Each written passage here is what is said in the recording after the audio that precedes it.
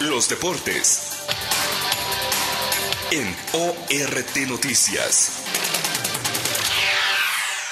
Hola, ¿qué tal? Claudia Vázquez, con mucho gusto y con sonrisa de viernes te vuelvo a saludar en esta tercera hora ya de la información de esta edición de ORT Noticias de viernes. Porque abre el fin de semana y porque seguramente en estas fechas que son vísperas de Navidad, porque tenemos la oportunidad de reunirnos con la familia, con los amigos, de quienes eh, fuera de nuestra capital, fuera de Ciudad Victoria, vuelven para convivir con nosotros y que siempre de plácemes nos pone y que eh, nos llena de energía, nos llena de alegría. Que todo eso que usted esté disfrutando el día de hoy eh, perdure y prevalezca lo que resta del año y que también nos llene de energía para arrancar el nuevo 2020. Gracias por eh, mantenerse en sintonía con nosotros. Ya son las 8 de la mañana con 12 minutos. Eh, todavía tenemos una temperatura fresca. Está eh, la ciudad en una buena parte de la zona metropolitana de Ciudad Victoria, todavía con clima frío. le invito a que esté pendiente porque Lorena Torres detendrá todavía un bloque más de la información en cuanto a la previsión del clima. Importante porque las ligas locales, algunas de ellas todavía verán actividad, como por ejemplo y, esto, para que usted se abrigue de la mejor forma, se programe, eh, si en caso de que viniera lluvia, pues estar pendiente de los diferentes coordinadores y eh, directivos, eh, presidentes de las ligas, para saber, o con sus delegados, cómo será la continuidad de esta, que es prácticamente ya la penúltima oportunidad en cuanto a fin de semana se refiere para que haya actividad en este 2019 y después ya vendrá el 2020. Pero sí, este es el penúltimo fin de semana también de, también de, este, de este año. Bien, pues vamos a la información eh, de deporte local. La Liga Intercolonial que coordina el buen amigo Toño Muñiz eh, tendrá actividad a partir del día de hoy. Partidos programados dentro de la jornada número 26. Dimada estará enfrentando al equipo de Santa Librada. Esto en la cancha de la Academia a las 6.30 de la tarde. En la colonia López Mateos, San Cayetano enfrenta a Florería México. Otro partido para el día de hoy, Deportivo Manzano en el campo 5 del IPSET va contra el Sindicato 2 Victoria y otros dos partidos más. En la colonia Ampliación López Mateos estará enfrentando el equipo de la López Mateos contra el Deportivo Higo y Colegio Alemán contra Rancho de Arce. También en el mismo escenario a las 17 horas y después a las 8 de la noche. En otro de los partidos que también se van a jugar, pero también en lo que se refiere a la, al sábado, al sábado, eh, el Dimada va contra Requena Chamizal. Por otro lado, eh, San Cayetano enfrenta a Aquiles Cerdán. Estudiantes va contra sindicato de, el 2 de Victoria. Deportivo Manzano enfrenta al Deportivo El Pato. Los Ébanos contra Deportivo Espea.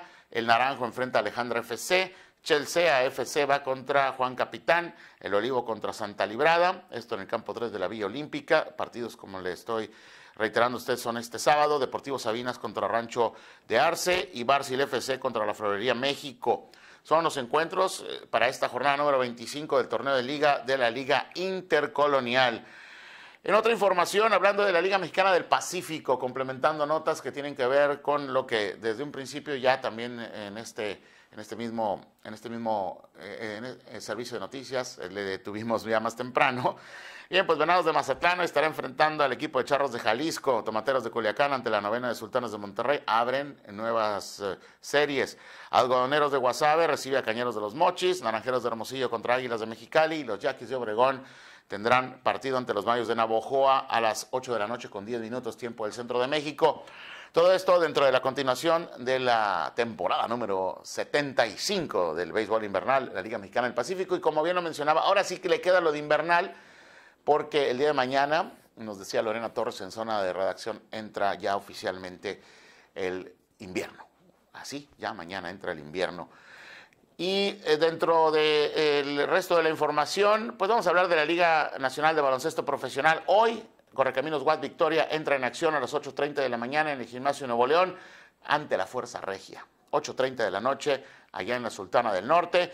Y otro partido para el día de hoy en el Auditorio PSF a las 9 9 de la noche. Soles estará contra los Santos de San Luis. Para el día de mañana, en el Olímpico Juan de la Barrera, Capitanes contra Panteras, Aguacateros de Michoacán, esto en, en, la ciudad de Morelia, recibe a Libertadores, Ángeles de Puebla contra Astros en el gimnasio Miguel Hidalgo, también otros partidos, León, las abejas de Guanajuato en el Domo de la Feria contra Leñadores, en el Olímpico Centro Universitario Sur, UAT, Huracanes de Tampico contra Leñadores, perdón, contra Laguneros y Dorados estará enfrentando a Plateros. Son los partidos programados para esta jornada de viernes y sábado dentro de la Liga Nacional de Baloncesto. El domingo continúa la serie que arranca hoy a dos partidos entre Fuerza Regia y Correcaminos Watt Victoria, prácticamente ya eh, sin posibilidades de calificar a la ronda de los playoffs. En otra información, en la NBA, los resultados del día de ayer, Atlanta Hawks eh, cae ante el equipo del Jazz de Utah 111 a 106, tablero final. Victoria de los Bucks de Milwaukee 111 a 104 sobre los Lakers de Los Ángeles. Los Spurs de San Antonio derrotan 118 a 105 a los Nets, mientras que el equipo de los Rockets de Houston vencen 122 a 117 en Los Ángeles a los LA Clippers. Para el día de hoy también hay partidos. Son un total de 10 encuentros los que están programados, eh, arrancando desde las 6 de la tarde, los Pacers de Indiana contra los Kings de Sacramento, el equipo de Cavaliers de Cleveland contra los Grizzlies de Memphis, Raptors, los actuales campeones contra los Wizards de Washington, Celtics de Boston contra los Pistons, esto a las 18.30 horas, y a las 19 horas el Heat de Miami, en Miami, Florida, contra los Knicks de Nueva York. 76ers de Filadelfia contra los Mavericks de Dallas, Thunder de Oklahoma contra los Suns de Phoenix, Nuggets contra los Minnesota Timberwolves, Trail Racers de Portland contra los Magic de Orlando y los Golden State Warriors contra los Pelicans. Este encuentro ya es a las 9 de la noche con 30 minutos tiempo del centro de México. En información del Mundial de Clubes, eh, Qatar 2019, eh, eh, que está preparándose para el 2022. Bien, pues ha sido una buena organización la que se ha llevado hasta el momento no ha habido ningún incidente administrativo ni de organización. Creo que en el fútbol también ha dejado buen sabor de boca, buen nivel. Y sobre todo eso que iba a estar en los ojos del mundo por la presencia, si bien no de los equipos tradicionales como es el caso de Barcelona o Real Madrid, que de la Champions eran nacidos representantes de esta confederación para participar en este Mundial de Clubes. Ahora es el Liverpool que está haciendo sensación y que venció a los Rayados del Monterrey para instalarse en la final y la cual se va a jugar el día de mañana ante Flamengo. Esto en Qatar, en la ciudad de Roja. Será Liverpool-Flamengo a las 11.30 de la mañana, pero más temprano a las 8.30 arranca el Rayados de Monterrey contra el Al Hilal. Los Rayados que buscan ser el tercer lugar. Que está bien, sí, está bien. No le alcanzó para llegar a la final, pero un tercer lugar está bien es, eh, creo, dentro del nivel que corresponde a nuestra liga y a nuestra confederación. Así están las cosas. Primero está la UEFA Champions League, o en este caso Europa, después está Sudamérica y después está la Confederación Norte Centroamericana y del Caribe de Fútbol. ¿Sí? Así es como están. Eh, eh, vaya, si queda de esa manera, a menos de que el Al le sorprenda al equipo de los Rayados, pero si queda Liverpool campeón, en segundo lugar queda el Flamengo y en tercer lugar queda Rayados, pues así es como están las cosas dentro de las diferentes confederaciones eh, que componen la FIFA. No habría nada absolutamente de novedoso ni de raro. Y no estoy siendo ni sarcástico, sino simplemente realista en cuanto a los hechos. Así es como está. Sí, que hubiéramos dado un brinco importante, sí, tal vez, venciendo a Liverpool, Rayados del Monterrey, y cuando digo brinco importante, la zona. Estoy hablando del fútbol mexicano, que obviamente en consecuencia tiene un beneficio de, imagen y de respeto como tal pero no se dio. Y aún así no hubiera sido mejor nuestra confederación a la de Sudamérica en cuanto a nivel de clubes se refiere, ni mucho menos ante la, la, de, la UEFA, definitivamente que no. Pero eh, parece que la lógica y lo normal se, se está dando y se va, se va a dar así como tal. Bien, entonces el día de mañana termina el Mundial de Clubes de Qatar. En lo que se refiere a la liga en España, partidos programados para esta jornada número 18. Eibar contra el Granada, este encuentro es el día de hoy a las 14 horas. Mallorca enfrenta al Sevilla, esto ya es mañana y muy temprano a las 6 horas tiempo del centro de México. A las 9 de la mañana Barcelona contra el Alavés. Villarreal contra Getafe, ya esto es más tarde, Valladolid contra Valencia, Leganés contra Español para el domingo, Osasuna contra la Real Sociedad, Betis de Sevilla contra el Atlético de Madrid, el Levante contra Celta de Vigo, Real Madrid cierra a las 14 horas del domingo que viene ante el Atlético de Bilbao. Este estos partidos corresponden a la fecha número 18. En información de la clasificación mundial de la FIFA, el equipo mejor rankeado, la selección mejor rankeada, pues sigue siendo Bélgica, va a terminar en el primer lugar. De hecho, ya esta es la última del 2019, así que quedará en los anales de la historia. ¿Quién fue la selección mejor posicionada en el ranking de la FIFA en el 2019? Bélgica. ¿Quién fue el segundo lugar? Francia. ¿Quién queda en tercero? Brasil, seguido de Inglaterra, Uruguay, Croacia, Portugal, España, Argentina y Colombia. Y en décimo primer lugar quedará en la posición número 11 México. México queda en el eh, décimo primer sitio de la clasificación mundial de la FIFA con un total de 1.621 puntos. El primer lugar tiene 1.765 dentro de este puntaje que más o menos lo entendemos porque no está muy claro, pero tiene que ver con la participación obviamente de las elecciones y sus resultados a lo largo de todo un año, pero tiene también otros eh, factores que se califican, que la FIFA es la que los va regulando y no es mucha la distancia, se pudiera decir, poco más de 100 puntos del primero al décimo primero, que es México. En información de Cruz Azul, la máquina celeste ya tiene director deportivo después de que recordamos fuera en el 2017, en el primer semestre del mismo, en el torneo Clausura 2017, Jaime Ordiales, director técnico de Correcaminos.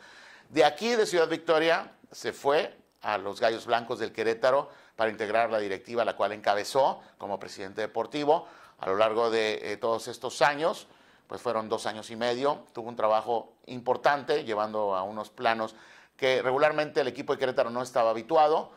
Es una persona que dentro del fútbol, eh, si bien la vida le ha dado una oportunidad importante por lo que tuvo que luchar en cuanto a su salud y salir de una enfermedad eh, muy complicada, y que en esta segunda oportunidad le ha dado, eh, aunado a su personalidad. No me quiero vanagloriar en cuanto a tanta alabanza, por decirlo así, o tanto, tanto piropo para el buen Jaime Ordiales, pero créame que es un hombre de fútbol y un hombre que sabe. Y ahora llega la máquina celeste de Cruz Azul. No sé si le van a permitir trabajar, pero por lo pronto como director deportivo será presentado ya el día de hoy. Terminó su relación laboral después de que hubo este cambio administrativo que se anunció aquí oportunamente con eh, el cambio de propietario de Querétaro que pasa al grupo que también tiene la propiedad de eh, los Choros de Tijuana y del equipo de los Dorados. Entonces, modificaciones naturales y que ahora estará teniendo este rumbo eh, en la Ciudad de México, en las instalaciones de la Noria. Cruz Azul será la casa de Jaime Ordiales y, seguirá la conformación de este equipo rumbo al inicio del próximo torneo Clausura 2020. Hablando del corre, vamos a hablar del equipo de casa, el azul naranja que dirige el profesor Roberto Hernández. Ayer tuvo entrenamiento en el centro de formación, el día de hoy y mañana otras dos sesiones más, será a una sola, a una sola por día y el próximo domingo viaja rumbo a la ciudad de Querétaro, donde estará enfrentando el lunes en las instalaciones de las canchas de la Loma, un centro deportivo que tiene trascendencia nacional e internacional, eh, de muy buen nivel, estas instalaciones. Bien, pues ahí en la Loma estará enfrentando a los Bravos de Juárez, que están llevando su trabajo de pretemporada en su última etapa en esta parte de la República Mexicana. Recordando que en Juárez eh, el frío es en estas fechas de los que cala y en serio. Entonces, para tener una mayor comodidad en cuanto al trabajo se refiere, más allá del tema de aclimatación, que creo que no lo necesitan los jugadores de Bravos, entre paréntesis por decirlo, pero mejor prefieren trabajar su pretemporada en estas fechas en el centro del país. Y ahí va a estar Correcaminos, el equipo de Roberto Hernández, conociendo ya cuándo va a iniciar el calendario de competencia. Se, se, se habla de que este sería el último partido de pretemporada ya pero quedarían dos semanas y media todavía de distancia del arranque de la nueva campaña. Veremos si todavía se puede cerrar algún encuentro más. No hay ni siquiera el rumor de tal, pero pudiera ser. Eh, creo yo, por el tiempo todavía a distancia al arranque de la temporada, que será ante Mineros en el, en el Carlos Vega Villalba, eh, en jueves, jueves de ascenso, el día 9 del mes de enero. Hasta aquí la información en cuanto a los deportes se refiere, son las 8 de la mañana con 25 minutos. Vamos a una pausa comercial, le invito a que continúe con sonrisa de viernes, con buena actitud que dure todo el fin de semana y lo que resta del año y que arranque el próximo año. Vamos a mensajes y regresamos con Claudia Vázquez. Buenos días.